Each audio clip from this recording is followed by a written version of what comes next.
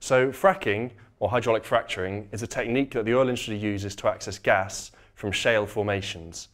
Now, shale formations are different from the conventional sandstone reservoirs that we're used to getting our gas from because the pores where the gas is trapped in a shale reservoir are not well connected, so it's difficult for the gas to flow from the pores and into the well. And this is where the hydraulic fracturing process comes in, because by creating fractures from the well that run out into the formation,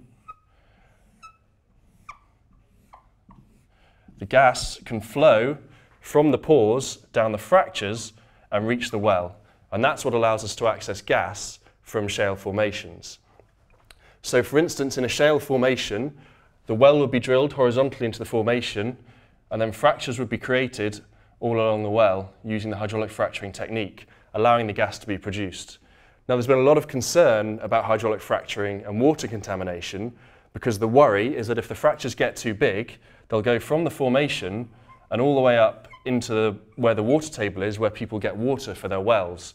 So as geophysicists, we monitor where the fractures are going and we make sure the fractures stay within the formation and do not move up between the one and the three kilometres depth from a shale formation up to the water table uh, to make sure that fracking is conducted safely and to avoid pollution.